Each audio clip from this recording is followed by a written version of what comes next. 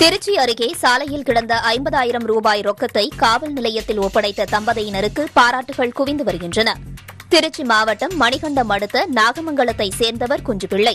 இவர் இருசக்கர வாகன விற்பனை முகவராக இருந்து வருகிறார். இந்நிலையில் மணப்பாறையில் உள்ள வாகன விற்பனை நிலையத்தில் வாகனங்களை வாங்குவதற்காக ஐம்பதாயிரம் ரூபாய் ரொக்கத்தை ஊதா நிற பையில் கொண்டு சென்றபோது பணப்பை தவறி சாலையில் விழுந்துள்ளது. அதனை எங்கும் தேடியும் காணாத முதியவர் காவல் நிலையத்தில் புகார் அளித்துள்ளார்.